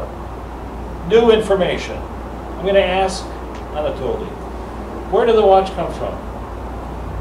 put it in your daughter's mind? Oh, he said it was a gift. It was a gift. Would you show her who gave it to you, a male or a female? It was a gift from my mother to A gift from your mother. Okay, his mother. No, my mom. Your mother to him. Okay, very good. And so the reason you're on the Anatoly put it in your daughter's mind why you're wearing that watch. Why would you want her to see this watch? Showing me time. Time. Very good. Thank you. So let me ask you, Anatoly, am I correct in saying that time doesn't exist, or the time is relatively different on where you are? Said the time is it's different. It's moments. It's not this Different. Exactly. Yes. Okay, thank you very much. I appreciate that. Did you know that Oksana was going to come today and that we were going to speak to you? Yes. He says yes. Does he say da or does he say yes? You know what? It just. It just says, "I understand." Yes, Very good. It's just the knowledge. So I'm going to ask you, Anatoly Budgodov. Oh, he's laughing. He's laughing. Did you hear that? I asked him a question in rough Russian and he laughed. yeah. Think about that for a second. Just really kind of contemplate what just happened. I mean, I sound, I sound excited about it, but you see, I asked him, Are you ready? He knows what that means. Oksana may know what it means, but it's it's from the pioneers where it was like when you were a little kid, you used to say, you know, are you prepared for the Americans to come or whatever it's going to be? And the answer is Sigdagalu. Okay, very good. I'm sorry, Anatole. I didn't mean to laugh so loud. What do you want to tell your daughter? How is she doing? First, I want you to speak real specifically. Uh, he made me feel very happy. He's proud. Uh, he loves me. That unconditional love. Very good, thank you. I'm sorry to make you, here, have some water. Um, uh, Anatoly, I appreciate you talking to us. Now, let's just hold on. This is not, we, we don't get a conversation like this too often. So, Anatoly, what can you tell the people in this room that they need to hear? What is it from your perspective where you are now? What would you like people to hear in this room? Now, he makes me feel that all have to have faith. We all have to have faith. And what do you mean by faith? Do you mean belief in each other? Belief in the uh, flip side, that people still continue to exist? He's focusing on this realm of existence. On not this the realm, Other side, yes. not the other side. So Okay. Like elevation, happiness, unity, uh, trust. Elevation, happiness, unity, trust. And so you're saying we need to elevate ourselves and have trust in each other. Is that correct? Okay, very good. Are you saying that in relation to the political situation on the planet right now or just in general humanity? In general humanity, I feel the soul element has to rise up. It's we have a good, that's not we have, but it's need to give food to our soul. It needs to give food to our soul. I'm repeating it so that we can hear it as well as I can hear it so that I can think of whatever the next question would be. And Anatoly, who are you hanging out with on the other side? A lot of fun people. A lot of fun people. So tell us, like give Oksana an example of one person that you might be hanging out with that she would know.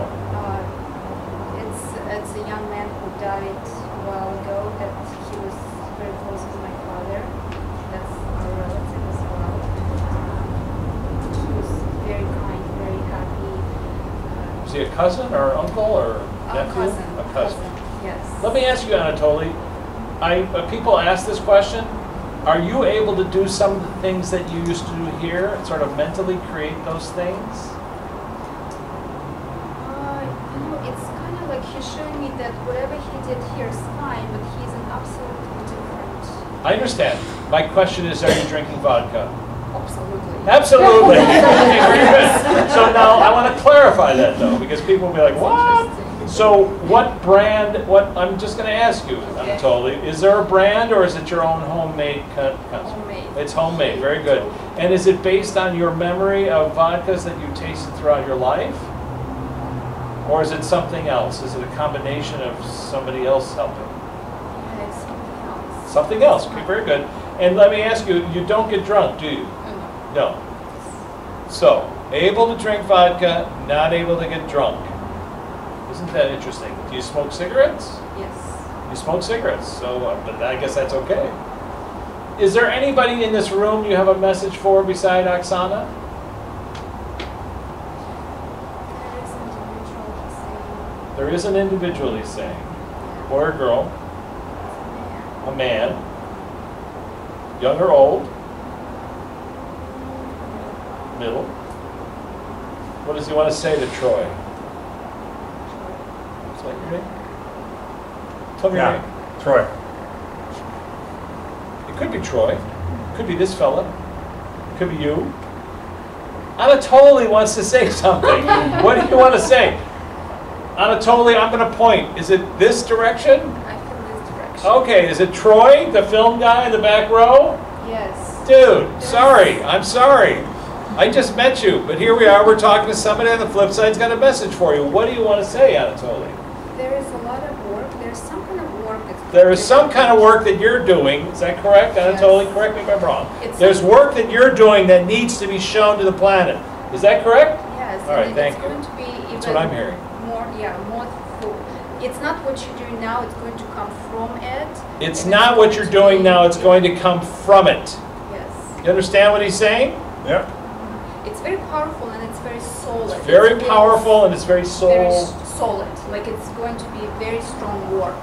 As very strong work, Message and. you know, message. Um, yeah, composure. Should he tell this to the filmmaker he's working with, the, the person, or does it It's, matter? it will come from his. It will come from you, Troy. Wow, dude. I'm sorry. You know, listen, this is, we- we're not doing a mediumship show here. You know that. Well, I knew I he was, I knew he was gonna ask me a question before you even said anything. Wow. How weird is that? I don't know why I suggest, I've never done that before. I've never, ever asked somebody if they have a message for somebody in the room. Never. So the fact that he would put that in my mind so that he could mention to Troy that what the kind of work that he's doing is important is really bizarre. And the fact that I even called you to come up here is, just came out of the fact, you know, the fact that you helped me with the camera, big deal, you know, but I mean, the idea that uh, something needs to be said. So Anatoly, we appreciate you coming uh, to visit us. Thank you very much, my friend. And you're always welcome, of course, visit with your daughter. Is there anything else you want to pass along? He just smiles right now. Sigdagado? It's like that. Which means always prepared. So that was the thing, you'd say, Gudgudov, right? I don't pronounce it correctly, and then the answer is Sigdagadov, I am always prepared. Thank you, Oksana. Thank you so much. That was wild. I know, it was. Nice to meet your dad, too. Thank you. How cool was that? Janet, are you just a little impressed? Oh, you guys are so funny. They love giving me a hard time. I have one more person, and we're gonna close with that. But before we do that, I want you to know that we do have copies of some books. Those are the only books that 20 we bucks have each. today. Uh, Marquee Twenty dollars, books. uh, see me over there. Um, and the one person I'm gonna have come up is Jerry. That was wild, Oksana. That was trippy. I love that he showed you that watch, too. I just want to tell you because this is, come on, sit. This happened once before when uh, I was talking to a girl and she was telling me about her father's watch. I just asked, was there any detail? This was like we were doing laundry in my building. And, uh, and she said, I've never seen this watch before. And I said, you know what? I'm getting a sense that you have it somewhere in your house, a photograph of it. He's showing me the photograph. And then she texted me like an hour later. She went through her stuff and found the photograph of him wearing that Timex that she had never seen before.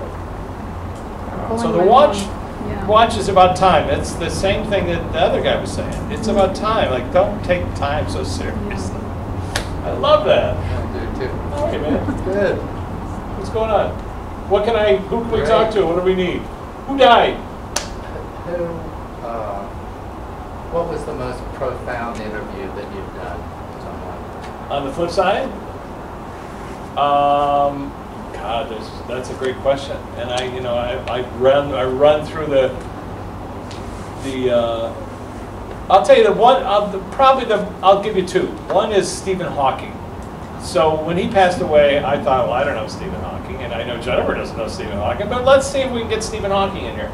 So I, we invited him in, and everybody was like happy to see him. And, you know, he wheeled in, and then he got out of his chair. And then, and he was about 28 years old, and, and we had this conversation with him. And a friend of mine also did a interview with him about the same time, and she described the same answers that he gave. And, and since then, we've had, I've had conversations with him, with Jennifer, asking about black holes and are they called the portals? He said, but not in the way you think. I'm like, all right, well, I don't know what that means. Portal, but not a portal portal. I think he means, you know, matter transfers. We also asked him about dark energy, because that apparently, if you solve that one, you get a Nobel for that, which he gave us an answer to. So that was, you know, intellectually, it was interesting because I invited four atheists to that. I invited Carl Sagan, I invited uh, uh, Nikola Tesla, and I invited um, Hawking and Einstein. So these four guys, and I gave them each different questions. You know, solve this, solve that. And you know, I'm not a scientist. You know, I don't know if their answers are accurate, but they're fascinating. But probably the most profound was uh, an actor named Harry Dean Stanton. You're welcome, Harry. So Harry Dean Stanton was somebody that I knew through Luana. Luana had introduced me to him over the years, and over the years, I actually did a Laverne and Shirley with Harry Dean Stanton. Go ahead, look it up. Um, and so I'd known him, and I'd gone out to dinner with him many times. Uh, he used to love to go to Dan Tana's. Harry could really put it away. So when you sat down with Harry, it meant you were not going to drive home. But he was he was notorious for being a curmudgeonly uh, atheist. You know, there is no afterlife. They made a movie called Lucky where he talks about it. There is no afterlife. Blah blah blah. I'm not going to do Harry. But he was an adorable person, just really sweet, and everybody that knew him just loved him. So when he passed away, I thought, well, this will be a fun way. I knew Jennifer didn't know who he was. So I said, I want to talk to my friend Harry. She said, oh, he's here. I said, so Harry, you know, what's it like for an atheist to realize you're in an afterlife? And he started swearing, you know, saying, you know, stupid question. And then he said, Luana, Luana gave me a soft landing. And I said, what does that mean? He said, she showed up in my hospital room. He said, uh, I said, describe what happened. Describe your death. He said, there were five women around me. And then as I died, Luana was there. I saw her beckoning me. I said, describe how she looked.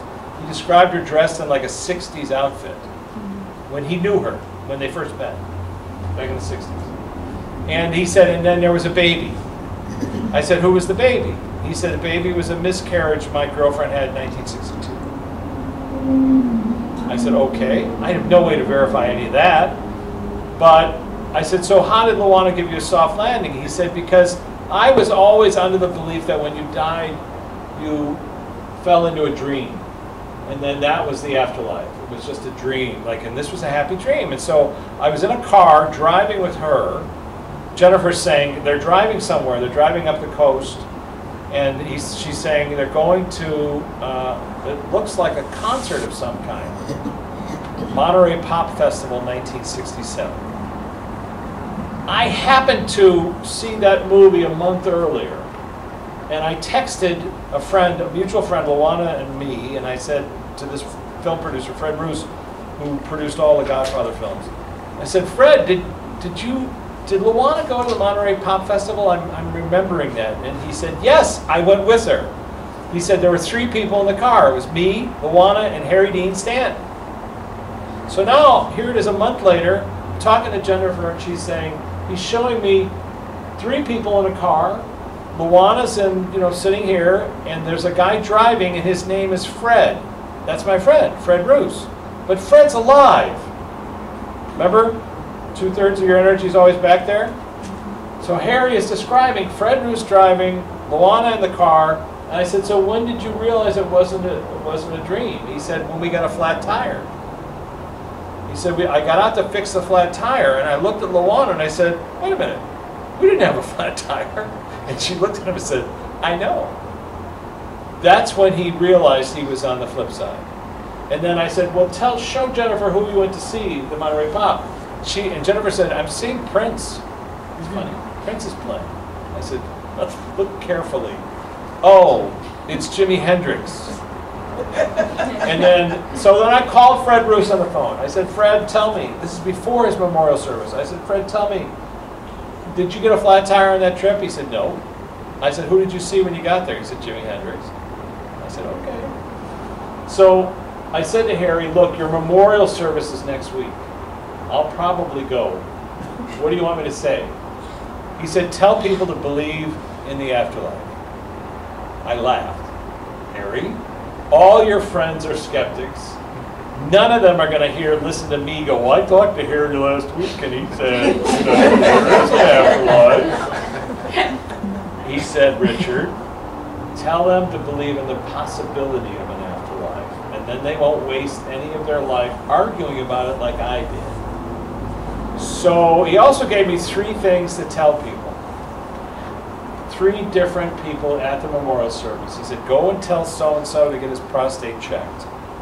Really? really? You gonna ask me? Yes, that's what you're gonna do. Number two person, he said, go and tell this guy his uh, arthritis medicine is drying his drying him out. It's gonna hurt him. Start drinking water. And three, tell my girlfriend uh, that I love her and that I'm here waiting for her. Okay, Harry. So I go to the memorial service. They get up and they talk about there is no afterlife, there is no afterlife, there is no afterlife. Jack Nicholson, Al Pacino, Warren Beatty. It was a very small group of big A-list people talking about lifetime stuff. Um, I went over to the first person and I said, I, "This is going to sound weird, but I talked to Harry and he said you need to get your prostate checked." And he said, "I went for my first treatment this morning." Went to the second guy and said, you know, he says you got to start drinking water. His son like fell out of his chair. We tell him that every day. And I went to this girlfriend. I said, she says he loves you and he's waiting for you. She screamed. She said, I. She said, I knew it. I knew it. And then I asked somebody who was there when he died. I said, who was there with him when he died? And she said, well, there were five women in the room, exactly as he described it. And I said, Did he say anything weird? And she said, Yeah. He said, Hand me the baby.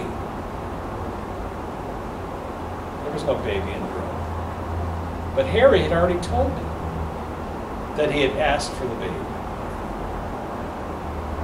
So since then, whenever Harry shows up with me and Jennifer, she'll say, Oh, your friend from Big Love is here. That was the show that he was in most recently. And uh, with Paxton, of all people that's you know we all connected, all connects up. And he always he always comes through and say, you know, thank you, Richard. So and so is now in a complete tizzy, freaking out because they know that what you're saying is accurate and it's scaring the shit out of them.